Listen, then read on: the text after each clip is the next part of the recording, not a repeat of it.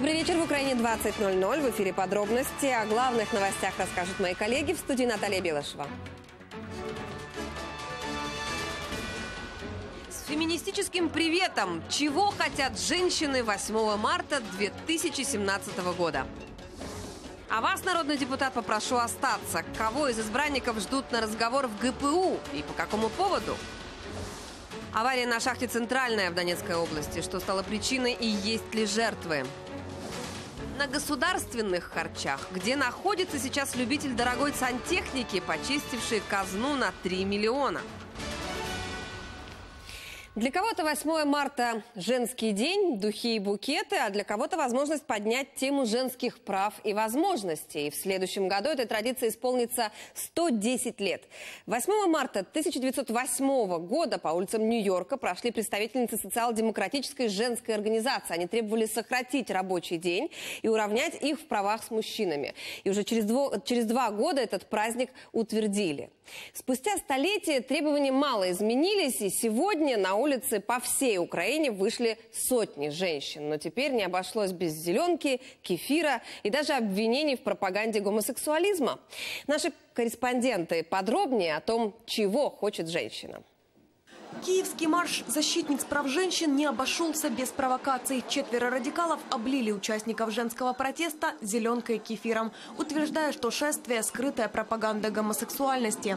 Це на розкладання українського ладу, українського суспільства, от, на відчуження жінки від чоловіка. Несколько сотен женщин и мужчин, которые прошли по центру столицы, призывали депутатов ратифицировать Стамбульскую конвенцию, ужесточить наказание для виновников домашнего насилия и предоставить госпомощь их жертвам – более 170 тысячам человек. Мы понимаем, что люди, которые обращаются за помощью, это очень маленький процент людей, которые реально страдают от насилия. Помощи никакой от государства мы не видим. А вот еще один марш в Ужгороде закончился победой радикалов. Они вырвали плакаты участниц акции, выкрикивая оскорбления, но сразу скрылись, когда на место прибыли правоохранители. Около сотни женщин прошли сегодня по центральным улицам Львова, чтобы привлечь внимание к правам прекрасного пола. К шествию присоединились туристы. Свобода! По статистиці заробітна плата жінок менша в середньому ніж чоловіків. Е, крім того, ну є такі Є, наприклад, жінки з дитиною дуже е, тяжко знайти квартиру, і ніхто не дає ну, зняти квартиру. Ось е, праця, жінка працює на роботі, потім потім вона працює вдома. В нашій країні наразі є відсутність держави до підтримки жінок, відсутність розуміння соціальних е, проблем жінок, і це наше завдання говорити з суспільством і говорити з державою. Главное требование Харьковского женского марша – равенство мужчин и женщин в вопросах заработной платы. Их девиз – разность, равность и солидарность. Половина населения – это женщины, при этом они отрабатывают две трети всех часов, но получают 10% всего мирового дохода и владеют только одним процентом мировой собственности. Активистки цитировали дискриминационный, по их мнению, документ. По действующему приказу Минздрава более 400 профессий для женщин остаются под запретом. Женщина не может водить поезд метро. Также туда входят сварщик, высотник, все производства, которые связаны со свинцом. Это звучит немного по-фашистски. Женщина должна быть собой. Она должна осознать, что она может делать то, что хочет. Если она хочет рожать детей, она рожает. Если она не хочет, она не рожает. Она имеет право работать, имеет право не работать. Участники акции надеются, что женский день будет не просто праздником, но и поводом для властей активнее решать проблемы украинок. Наталья Савченко, Светлана Шикера, Галина Якушка, Владимир Самченко, Александр Яновский, Юрий Голубинко. Подробности телеканал Интер. А вот в Исландии уравняют зарплату мужчин и женщин. Правительство страны планирует ввести специальные стандарты оплаты труда. По новым правилам заработанная сумма для всех должна быть равной, независимо ни от пола, ни от сексуальной ориентации, ни от этнического происхождения. Полностью преодолеть это финансовое неравенство планируют до 2022 года. По данным Евростата, во всех странах ЕС мужчины зарабатывают больше – И все же 8 марта не столько повод поговорить о гендерном и финансовом неравенстве, сколько возможность просто поздравить и поблагодарить женщин. Отмечают эту дату более чем в 100 странах, но в Украине и Международный женский день приобретает политический окрас. С подачи Института национальной памяти в запахе тюльпанов и мимоз учуяли дух коммунистического прошлого и предложили отменить празднование в этот день. Что думают о такой инициативе украинцы и как ее расценивают политики? Многие цветочные лавки в столице сегодня открылись в 6 утра для самых ранних покупателей. Об идее отменить 8 марта здесь не слышали. Правда, жалуются. Покупателей меньше, чем в прошлом году. Больше покупает? Очень плохо. А как думаете, чего?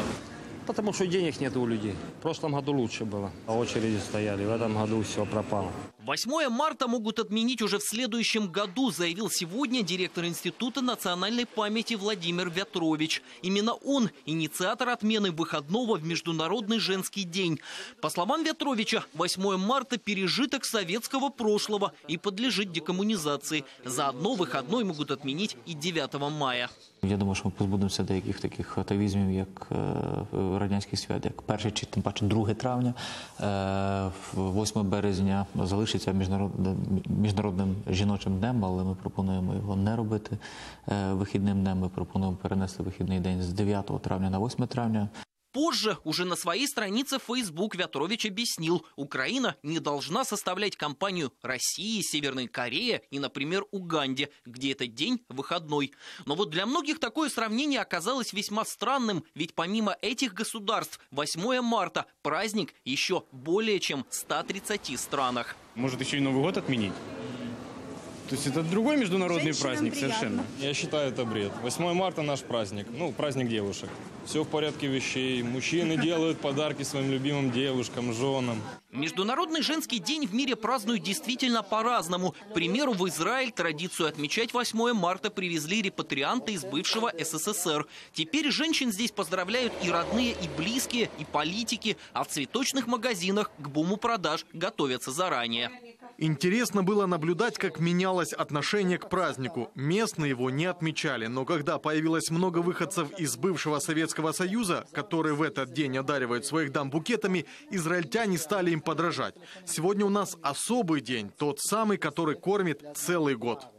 В Европе 8 марта – день рабочий. Однако еще накануне в Еврокомиссии опубликовали поздравления к женщинам всего мира. Правам женщин сегодня посвятил часть своего выступления и генсек ООН. Я верю, что когда женщины будут наравне представлены во всех сферах нашего общества, мы станем сильнее, развитее, и нам будет легче поддерживать мир и защищать права человека. Единственный способ защитить женщин – это делать все для увеличения их присутствия в госучреждениях, в политических структурах, в среде бизнеса, в мирных переговорных процессах.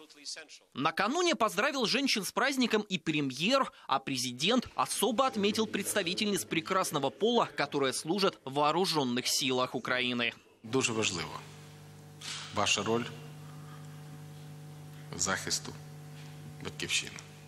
Я твердо переконаний, що з такими жінками наше найкраще в світі військо є точно непереможним.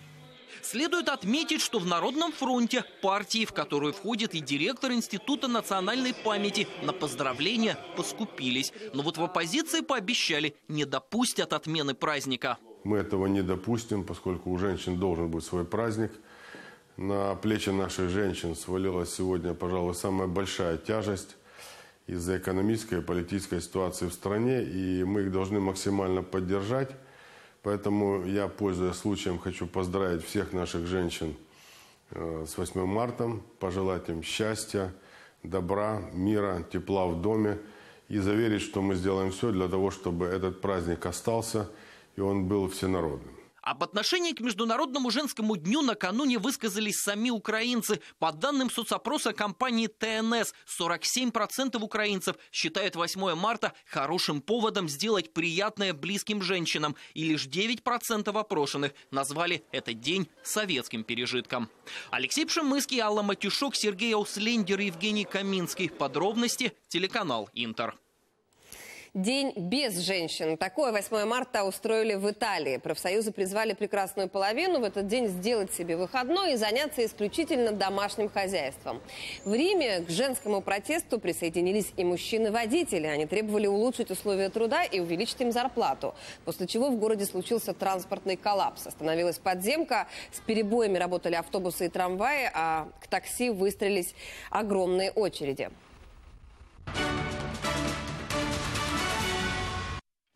Очередная авария на шахте в Донецкой области. На шахте «Центральная». Госпредприятие «Торецк Уголь» – это на подконтрольной Украине территории. В 14 часов произошел обвал. Под завалом оказались четверо горняков. Трое самостоятельно поднялись на поверхность, а вот четвертый рабочий очистного забоя погиб на месте. Произошел выброс угля. Причины может быть э, геология, горно-геологические условия или Бывает, что нарушается паспорт ведения горных работ. Надо проводить расследование. Напомню, неделю назад на шахте «Степная» во Львовской области произошел взрыв метана. Восемь горняков тогда погибли, 23 были госпитализированы с ожогами различной степени тяжести. Открытое уголовное производство по статье «Нарушение правил безопасности». И завтра с 9 утра шахтеры Львовской области начинают акцию протеста. Они требуют выплатить задолженность по зарплате, а также разблокировать счета предприятия «Львов Уголь», которые были арестованы из-за долга шахты за электроэнергию. Первая акция будет проводиться в виде пикетирования и недопущения отгрузки угля потребителю. Вторая акция будет проводиться во Львове. Будут э, пикетировать суд для того, чтобы привлечь внимание к тому, что предприятия все семь шахт работать не могут.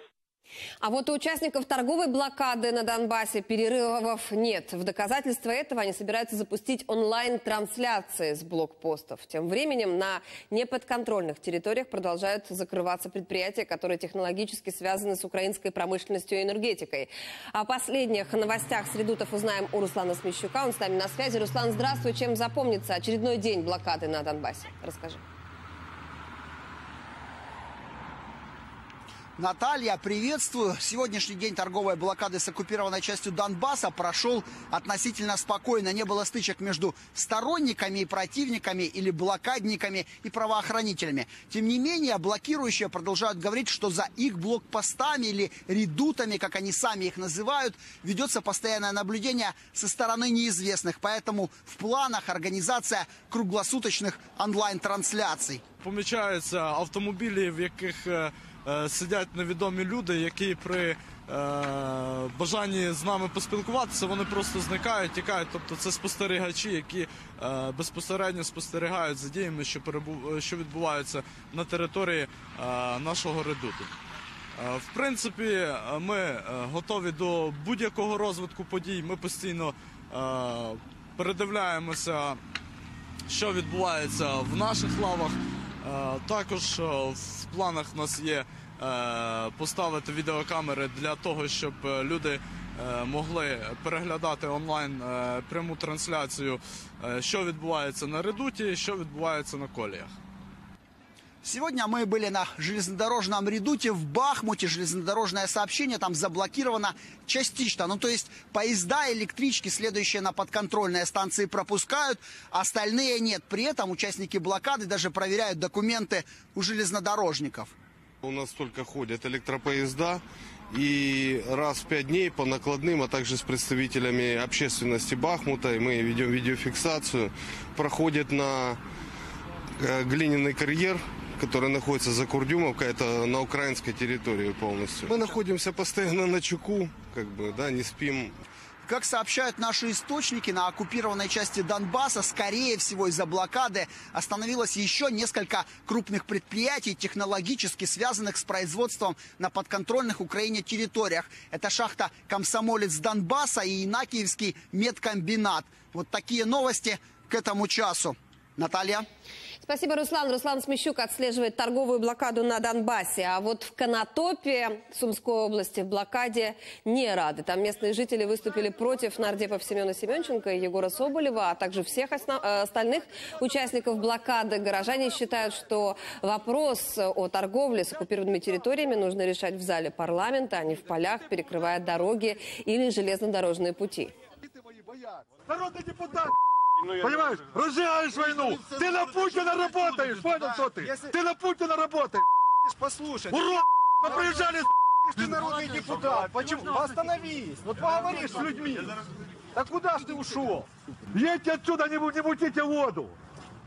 Еще четверым народным депутатам придется поговорить в ближайшее время со следователями Генеральной прокуратуры. На разговор пригласили лидера радикалов Олега Лешко, его однопартийца Андрея Лозового, а также нардепа от Народного фронта Андрея Левуса и внефракционного депутата Андрея Белецкого. Об этом сообщил на своей странице в Facebook Олег Лешко. Повестка датирована 6 марта, и в ней указано, что депутатов вызывают в качестве свидетелей. Пресс-секретарь генпрокурора в эфире одного из телеканалов заявила, что причина допроса проста. ГПУ просто проверит, заплатили ли нардепы налоги с тех наличных сумм, которые они указали в электронных декларациях. Точную дату допроса пока не озвучивали. Допрос Лешко, Лозового, Левуса и Белецкого – это только первый шаг после заполнения электронных деклараций. Об этом на своей странице в Facebook написал нардеп Сергей Каплин. Он убежден, что Олега Лешко вызвали в ГПУ, поскольку правоохранителей могла заинтересовать квартира депутата, которая находится на одной площадке с жильем главы МВД Авакова и миллионы, указанные в декларации. А в связи с этим, предполагает Каплин, Лешко необходимо спасать свое амплуа патриота и лидеру радикалов выгодно намекать, что власть давит на националистов, а сам Лешко – это главная мишень. Но здесь есть еще одна подоплека, а именно создание коалиции на троих – БПП, радикалы и фронтовики. Переход радикалов в эту коалицию как раз и будет камуфлироваться псевдорасследованием, подытожил Каплин свою версию. А вот их доходы в разы больше, чем минималка в 3200. Речь о судьях высшей квалификационной комиссии. В январе 2016 года ее члены в общей сложности получили более 3 миллионов гривен заработной платы. Об этом говорится в ответе комиссии на запрос общественников. Минимальная зарплата здесь 196 тысяч гривен. В среднем же судьи получили за январь по 225 тысяч. Сколько зарабатывают члены еще одного судейского органа, Высшего Совета юстиции, узнать не удалось. Поскольку на запрос активистов там ответили, что это служебная информация, и она не подлежит публикации. Но вот 1 апреля это можно будет спокойно увидеть в электронных декларациях. Подождем. Прокуратура Днепропетровской области заинтересовалась доходами региональных судей, мэров, председателей райсоветов и следователей нацполиции.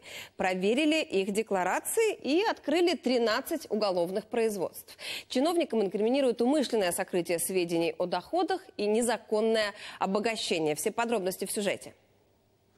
Владимир Дробитько, председатель Магдалиновской администрации, приехал к нам на встречу на Форде Куга 2011 года выпуска. Утверждает, это автомобиль жены. Личного транспорта не имеет. В собственности только квартира, 68 квадратных метров. В ее декларации все указал. Прочерк поставил лишь в графе сбережения. Уверяет, их просто нет. Доходы скромные, одна зарплата. Но о конкретных цифрах предпочитает не говорить. У мене тільки те, що приватбанківська карточка і таким образом. Да. Ну и кредитная есть. Семья живет на одну чиновничью зарплату. У сотрудников областной прокуратуры, которые проверили е-декларацию Дробитько, возник закономерный вопрос. Откуда при столь скромных доходах деньги на автомобиль? Ведь такой даже подержанный железный конь стоит около 15 тысяч долларов. Згідно відомостей податкової інспекції, вказані особи е, отримували дохід, який фактично не дозволяв би купувати за фактом незаконного збагачення. За статтею 368 з позначкою 2 розпочате досудове розслідування. У активистов вопросы и к заместителю Дробитько Виктору Лымарю. Его электронную декларацию в общем доступе они вообще не нашли. Есть у нас в Магдалиновском районе зам, который не подал электронную декларацию В принципе, и люди заполняют сами эти декларации, они получают электронный ключ на том же сайте, на котором мы смотрим их. Это единая база, они сами авторизуются и сами заполняют эту декларацию. После того, как они ее заполнили, она сразу оприлюднуется. Ее нет. Владимир Лымарь говорит, о чем идет речь, не понимает. Дескать, документ заполнил и сдал в положенный срок. У мене є квартира, у мене є два автомобілі, е, і я декларую також е, будинок е, моєї ч- жінки, е, який нам в спадщину дістався від батьків. Такі достатки. Прокуратура области сейчас проверяет, все ли чиновники отчитались о полученных доходах. Досудебное расследование проводят в отношении 13 человек. Уголовное производство открыто против судей, которые владеют целыми предприятиями, и мэров, приобретающих внедорожники по цене свыше миллиона гривен. Пока никому еще не объявили о подозрении. Если докажут, что власть имущие замешаны в коррупции, чиновникам грозит тюремный срок. Максимум 5 лет лишения свободы. Ольга Иванченко, Елена Миндалюк, Евгений Кодинцов. Подробности телеканал Интер. Днепропетровская область. Золотой блеск за 3 миллиона гривен. Стало известно имя очередного любителя драк металлов в санузле. Он даже удивил генерального прокурора. Пока вся страна обсуждает, за какие заслуги Путин наградил днепровского госслужащего, наши корреспонденты пытались выяснить. Если подозреваемого в хищениях бюджетных денег не задержали, то где же он сейчас? С подробностями Елена Миндалюк.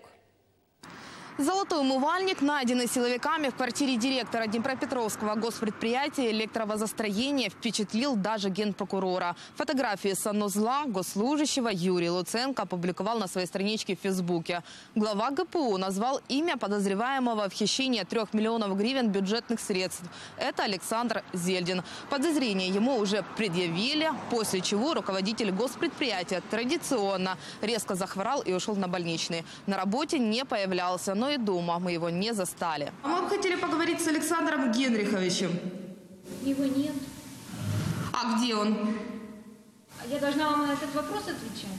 Общественники не исключают. Владелец золотого умывальника уже мог податься в бега. На должность директора предприятия электровозостроения Зельдина назначили в августе 2014 -го. Спустя месяц он заключил довольно сомнительный договор. Заказал участного предприятия по производству бумаги и картона капитальный ремонт 12 электродвигателей.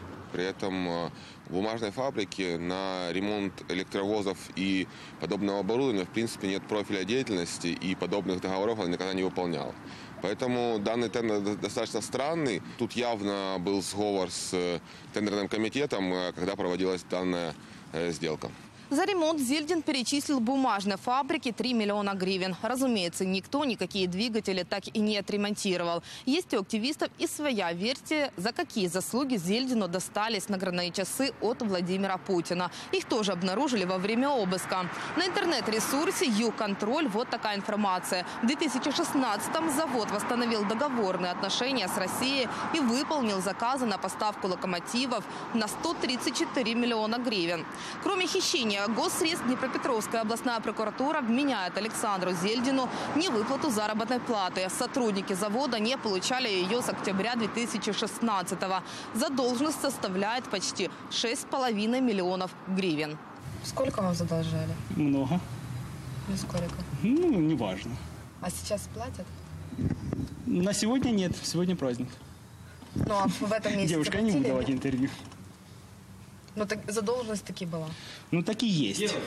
Максимальное наказание по статьям, которые инкриминируют Зельдину 12 лет лишения свободы. В ближайшие дни ему должны избрать меру пресечения. Если, конечно, ее не придется избирать заочно. Вполне возможно, что уже завтра выяснится. Владелец наградных часов от Путина покинул Украину.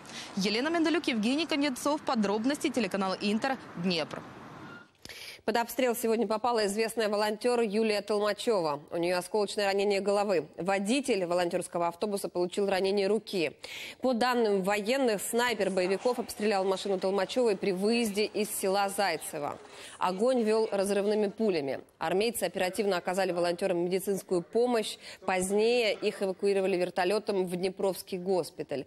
Состояние Толмачевой не тяжелое, об этом в соцсетях сообщают ее друзья. Напомню, с первых дней АТО она помогает и военным, и мирным жителям в прифронтовых селах и городах. В то же время в зоне АТО боевики 29 раз открывали огонь по позициям украинских военных. Потерь среди бойцов ВСУ нет, об этом сообщают в штабе. Кроме этого, сегодня подключили к электроснабжению Донецкую фильтровальную станцию. Она должна обеспечить водой прифронтовую Авдеевку. Все подробности узнаем у Ирины Баглай. Выскакивает танчик 6.40, вот позавчера бил, потом вечером выскакивает, бьет Уезжает, сразу же его прикрывает их э, минометная батарея. Выезжают танки из оккупированного Донецка. Их маршрут армейцам хорошо слышен по гулу моторов. Рев как сигнал для них в укрытие. Шум техніки дуже чуть, як вони їдуть прямо з Донецька, з тої сторони. Виїжджають, а тоді роз, роз, ну, розсредотачуються. То можуть постояти сутки, можуть постояти, а тоді так зненацька обстрілювати і взяти позиції. Этой ночью танки молчали, их сменили минометы наемников. За цементным стоит у них АГС, минометная батарея. Бьет. Терминалы и поселок у военных в прямой видимости. Періодично видно, що до терміналу під'їжджає техніка грузова вантажна, тентована. А Постійно автобус їздить за Спартаком м, м, майже регулярно. Но гражданским транспортом давно к дачному поселку уже не подъезжают мирные жители. Их дома теперь огневые позиции боевиков. По моей команде сразу падайте туда. Вот. Не бойтесь, падайте, лучше отмыемся потом. Бачишь склад? Да. Вон хаты. Дома, видишь? Дома такие трехэтажные, четырех, вот оттуда гад лупит, понял? Прицельно бьет. Оттуда работает ДШК, э, работает э, одиночными, видно на СОшках стоит, с прицелом. Так что бьет очень точно. Это не сепаратисты, это солдаты.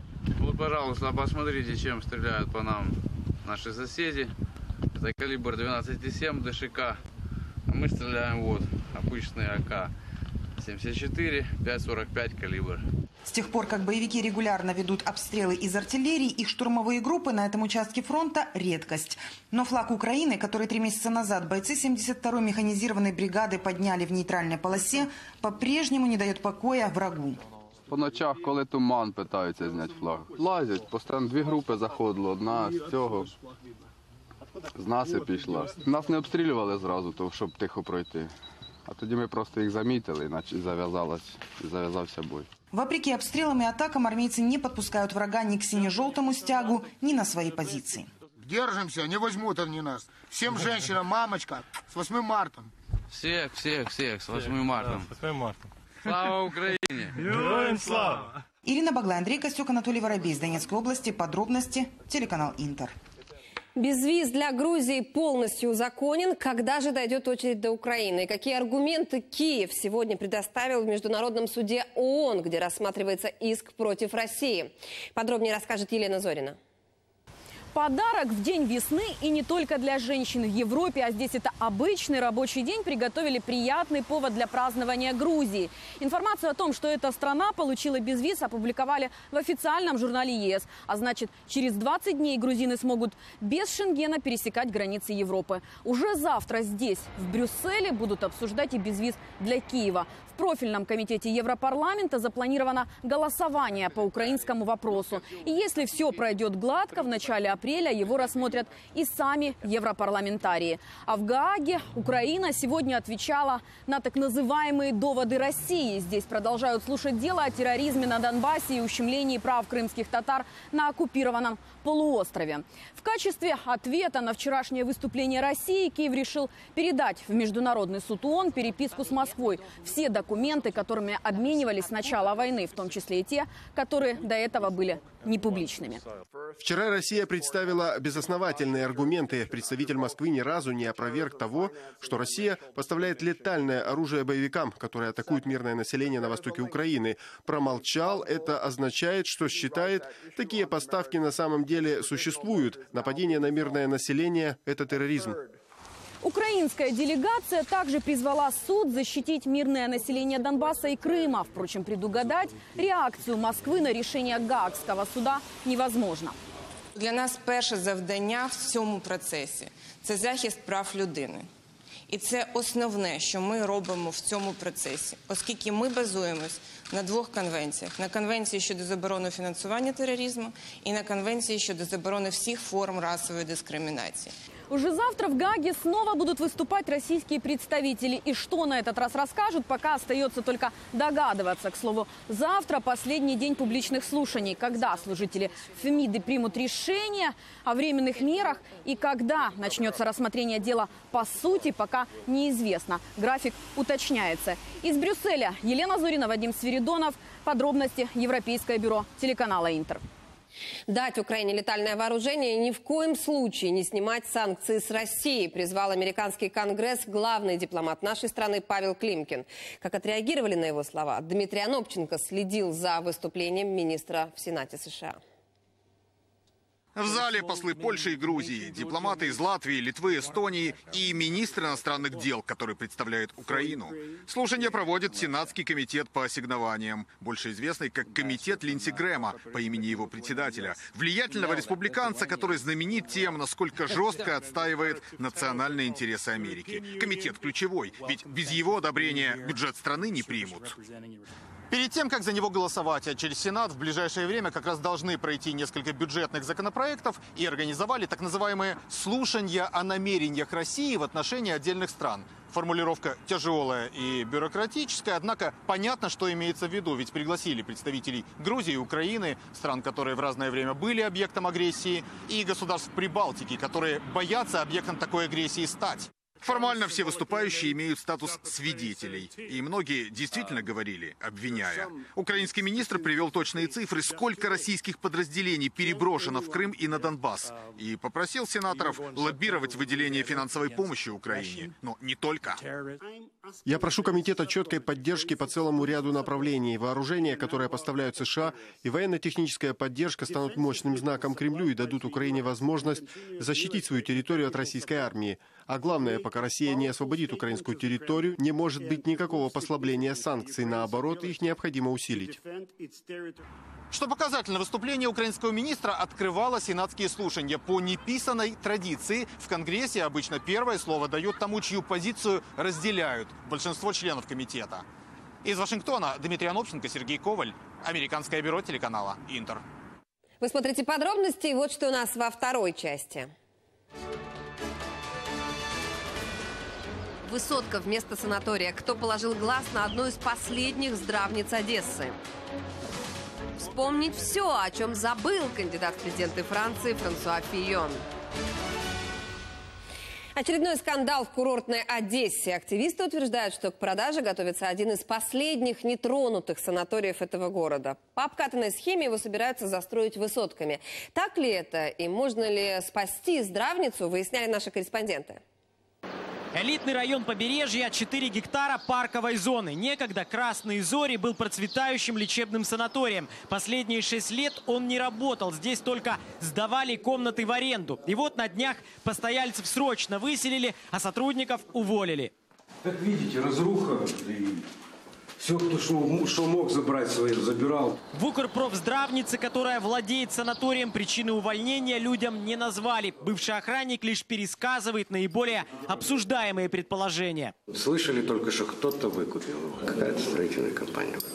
Этой версии придерживается и медсестра Светлана Чернецкая. Она проработала здесь почти полвека. Утверждает, на протяжении десятилетия санаторий специально банкротило его же руководство. Резали металл, вывозили оборудование. То же самое, мол, сейчас делает новый директор. Это все делалось целенаправленно? Конечно, конечно. А сейчас бьют окна. Он специально это сделал. Охрану снял. Он специально это сделал, чтобы угробить полностью, чтобы продать это. Местные жители организовали митинг. Опасаются, красные зори повторят судьбу десятков других таких же одесских санаториев, на землях которых теперь стоят многоэтажки и коттеджные поселки. Дескать, схема, в принципе, везде одинаковая. Сначала нужно довести предприятие до ручки. И дальше правление акционерного общества этого на своем собрании говорит, ребята, этот актив непрофильный, убыточный, надо его продавать на кону миллионы. Естественно, что такие деньги, они, так сказать, находят заинтересованных лиц. Директор санатория, а он также пришел на митинг, все эти версии называет беспочвенными домыслами. Мол, наоборот, Укрпрофздравница пытается спасти объект от продажи. Говорит, санаторий погряз в искусственно созданных долгах и судебных исках. Вот поэтому и решили остановить работу и провести аудит. Правда, что планируют делать дальше с красными зорями, не говорит, ссылается на начальство. Есть понятие финансово-экономической деятельности, которое не всегда может быть публичным. Я нанятый исполнитель. У меня есть э, очень много начальников в Киеве. Они принимают решения окончательно. Мы пытались получить комментарий у руководителей Укрпрофздравницы, но сегодня выходной день.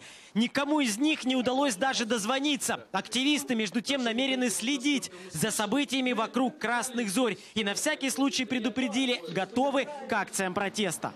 Андрей Анастасов, Игорь Миханошин. Подробности телеканал Интер, Одесса. Лесной протест. В Черновицкой области на пикет вышли жители нескольких сел. Митингующие уверяют, что уже несколько лет ведут борьбу с незаконной вырубкой леса, а напилили здесь уже на сотни тысяч гривен. Как на такие заявления реагируют сами лесники, видела Ольга Поломарюк. Гарні дубові насадження вирубані, варварсько знищені. От, можете зняти навкруги, все довкола подивитися. Я пам'ятаю цей ліс, я сюди приходив, я бачив ці дуби, я бачив ті жолуді. Зараз нема. Степан Татарин показывает лес, где еще недавно собирал грибы. Правда, сейчас этот участок лесом назвать сложно. Остались сплошные пни. Парень рассказывает, дубы и буки пилят местные лесники. Прикрывается тем, что проводят санитарную чистку. За несколько метров от участка обнаруживаем склад. 10% йде законно, решта все ліваки і так далі. Вони говорили, що йде на дрова на школи, на дитячі садки. Ну це явно це не дрова. Местные жители рассказывают о незаконных вырубках неоднократно сообщали правоохранительные органы, но до сих пор на все их заявления не получили никакого ответа. Сегодня решили действовать жестче, перекрыли дорогу. Зараз заклимували повністю весь молодняк. Сплошну. Народ возмутився, в кінцях води немає. Дороги розбиті, ліс уніштожений. Що ми лежимо сьогоднішнім днем? Мужчины ходят по пешеходному переходу, за всем молча наблюдают лесники. Журналистам говорят, рубки законные. Пиляєте дуби? Якщо вони, вони згідно закону, якщо вони в рубку під- підлягають, рубаємо, звісно. А мудрину? Так само. Минулому році було перевірок тут 15. Перевіряли всі служби, зібрали всіх в один день. Ніякого порушення не виявлено. В чому питання? Услышав оправдание директора лесхоза, местные взбунтовались. Я вам кажу, в даній зоні категорично заборонено рубати. Категорично. Це ви так думаєте. Категорично.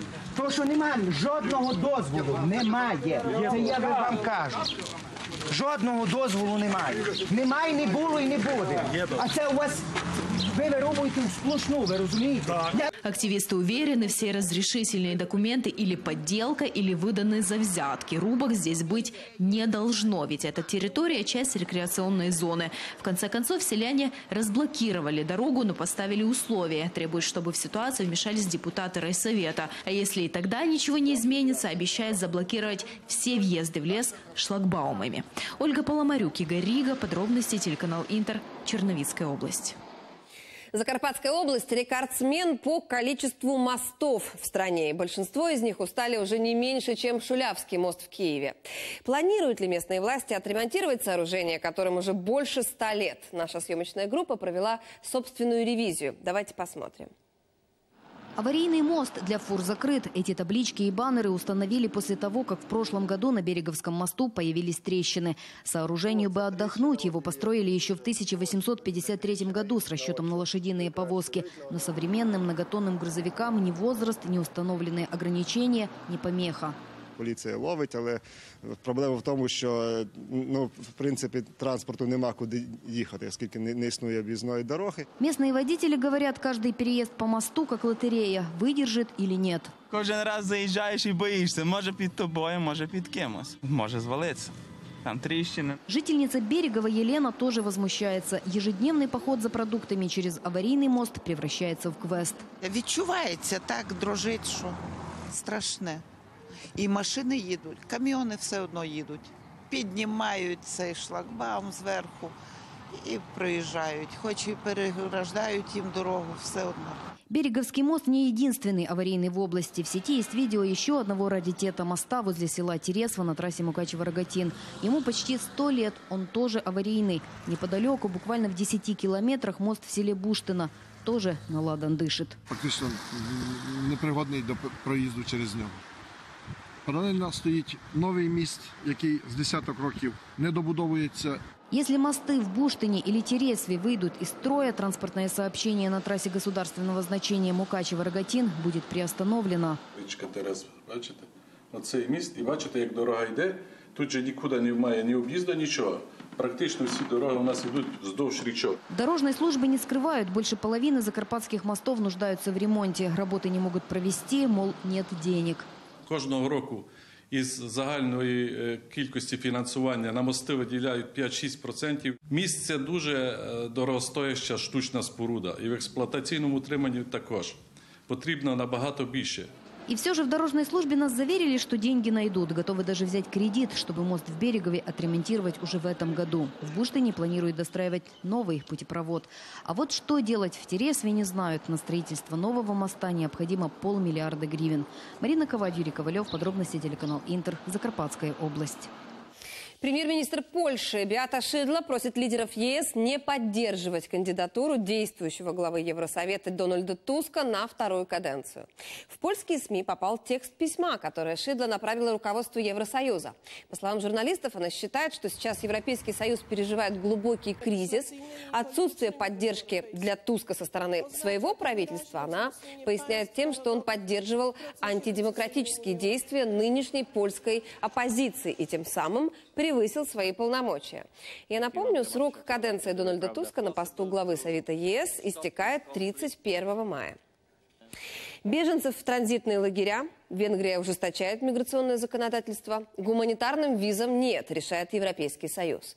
Суд. Все подробности новых европейских миграционных нововведений узнаем от Татьяны Лагуновой. Гуманитарных виз для беженцев не будет, по крайней мере обязательных. Такое решение принял Европейский суд в Люксембурге. Он постановил страны ЕС вольны сами решать, выдавать просителям такие въездные документы или нет. Иск подала семейная пара с тремя детьми из сирийского города Алеппо. В прошлом году они сдали документы на визы в посольство Бельгии в Бейруте. Семья хотела легально попасть на территорию ЕС и уже на месте попросить убежища. В визах им отказали и сирийцы оспорили решение. Суд навстречу не пошел во многом, чтобы не открывать новый путь для беженцев в Европу. Нелегко теперь придется и беженцам, которые ищут приюта в Венгрии. Сегодня парламент страны ужесточил миграционное законодательство. Всех просителей убежища, пока их документы не рассмотрят миграционные службы, теперь будут содержать в транзитных лагерях в приграничных зонах. Закон, который одобрили большинство венгерских депутатов, предусматривает, содержать беженцев будут в грузовых контейнерах, запретят им покидать транзитные лагеря и свободно передвигаться по стране. Одновременно с драконовскими миграционными нововведениями Венгрия начала строительство еще одного, уже второго забора на границе с Сербией. Решение построить первую стену правительство Венгрии приняло очень быстро, и забор получился не идеальным. Контрабандисты, торговцы людьми могли прорваться через него с помощью инструментов. Новая стена будет оснащена датчиками движения и камерами, реагирующими на тепло. Миграционную политику Венгрии уже раскритиковали ООН и Европейский Союз. Брюссель снова пригрозил Будапешту санкциями за нежелание принимать беженцев. Татьяна Лугунова, Вячеслав Фролов. Подробности Европейское бюро телеканала «Интер». И о месте британского премьер-министра. Члена Палаты лордов уволили с поста в правительстве за неугодное голосование. Лорд Хезилтайн возглавлял вчерашний бунт парламента против законопроекта по Брекзиту. Все подробности узнаем от Светланы Чернецкой, она в Лондоне. Одно голосование стоило ему должности. Лорд Хезлтайн в политике уже полвека был министром обороны в правительстве Тэтчер, заместителем премьер-министра Мейджора, а последние шесть лет работал экономическим советником в правительстве. Его услуги оказались не нужны после вчерашнего отказа Палаты лордов поддержать законопроект Кабинета министров по Брекзиту. Пэры отправили документ на доработку, требует, чтобы после заключения сделки по выходу из ЕС ее условия вынесли на одобрение парламента. Правительство с этим категорически не согласно и с главным бунтарем рассчиталось уже на следующий день. Самому Хезлтайну к борьбе с властью не привыкать. Во времена премьерства «Железной леди» он так рассорился с ней, что, выходя из ее кабинета, хлопнул дверью и тут же подал в отставку с поста министра обороны. А потом затеял кампанию по свержению Тэтчер. Тогда получить ее место Хезлтайну не удалось, но отправить премьер-министра в отставку получилось. И вот четверть века спустя он снова поссорился с женщиной-премьером. Хотя, как оказалось, никогда толком и не общался с Терезой Мэй. У нас не было возможности поговорить о наших разногласиях, но я ни в коем случае не критикую Терезу Мэй за это. Она очень занятой человек, а для меня было неизбежно сделать то, что я считаю правильным. Политика отошла на второй план, на первом были мои убеждения. Сама премьер не комментирует увольнение политического тяжеловеса. Эту новость затмила презентация уточненного бюджета на этот год. Министр финансов прогнозирует довольно успешный этап для британской экономики, правда, не скрывает считает, будущий год может быть посложнее из-за Брекзита. Но в последующие несколько дней обсуждение главной сметы страны, скорее всего, затмит разговоры о выходе Великобритании из ЕС. Светлана Чернецкая, Сергей Дубинин. Подробности. Британское бюро телеканала «Интер». Ну и ни дня без свежей порции обвинений в адрес Франсуа Фийона. На этот раз журналисты раскопали, что кандидат в президенты Франции не задекларировал 50 тысяч евро кредита. Информацию обнародовало тоже сатирическое издание, которое ранее сообщило о незаконном трудоустройстве жены Фийона. Политик одолжил деньги у бизнесмена в 2013 году. По словам адвоката Фийона, упомянуть об этом кредите он просто забыл, к тому же он полностью погашен. Лидеры республиканской партии, несмотря на очередные обвинения, обвинения подтвердили, что поддерживают кандидатуру Франсуа Фийона. А канцлеру Германии пришлось давать показания э, в деле о дизельном скандале в Бундестаге. Ангелу Меркель допрашивала комиссия, которая расследует дело о манипуляциях концерна Volkswagen. Напомню, на автомобилях этой марки было установлено программное обеспечение, которое позволяло манипулировать данными о выхлопах. Специальная комиссия должна была выяснить, насколько правительство Германии было знакомо с этими ухищрениями и какие меры предпринимало. Канцлер выступила в деле как свидетель. Она заявила, что узнала о скандале в 2015 году из прессы и призвала министра транспорта сделать все, чтобы пролить свет на это дело. Как феминистки повлияли на светофоры в Австралии и кто в честь 8 марта составил кампанию «Манхэттенскому быку». Об этом и не только в нашем обзоре. На Мальте обрушилось лазурное окно. 28-метровая скальная арка естественного происхождения рухнула утром 8 марта. Достопримечательность была объектом всемирного наследия ЮНЕСКО и излюбленным местом туристов. Рухнула арка из-за естественной коррозии. Куски известняка откалывались от скалы вот уже несколько лет. Одну из длиннейших в мире дамб строит Кувейт. Длина моста 36 километров. Кувейт планирует инвестировать 100 миллионов долларов в так называемый «шелковый город». Богатая нефтью арабская страна хочет оживить торговый путь по древнему шелковому пути и создать крупную зону свободной торговли, соединяющую Персидский залив с Центральной Азией и Европой. Женские светофоры установили в Австралии. Человеческие силуэты одели в юбки на 10 светофорах Мельбурна. Эксперимент по просьбе феминисток продлится год. Новшество вызвало бурное обсуждение. Многие недовольны, дескать, внедрять в умы идею равенства полов следует более серьезно. Возле легендарной статуи быка на Манхэттене установили новую скульптуру к 8 марта. Она символизирует расширение возможностей женщин. Бронзовая статуя будет ежедневно напоминать о гендерном равенстве представителям бизнес-структур, которые смогут видеть монумент из окон своих офисов на Уолл-стрит.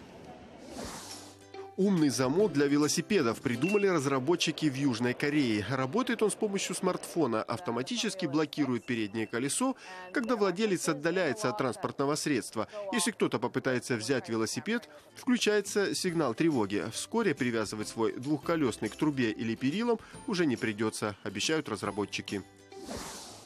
Теперь искусство станет более доступным. Программисты создали приложение «Шазам» для живописи. Новая программа для мобильных телефонов позволит узнать название, автора и историю картины. Стоит только навести ее на камеру. А еще покажет комментарии друзей и самих художников. Smartify будет распознавать не только картины в музеях, но и репродукции на открытках или плакатах. Заработает приложение в мае этого года. На сегодня это все. Хорошего вам вечера и до встречи завтра.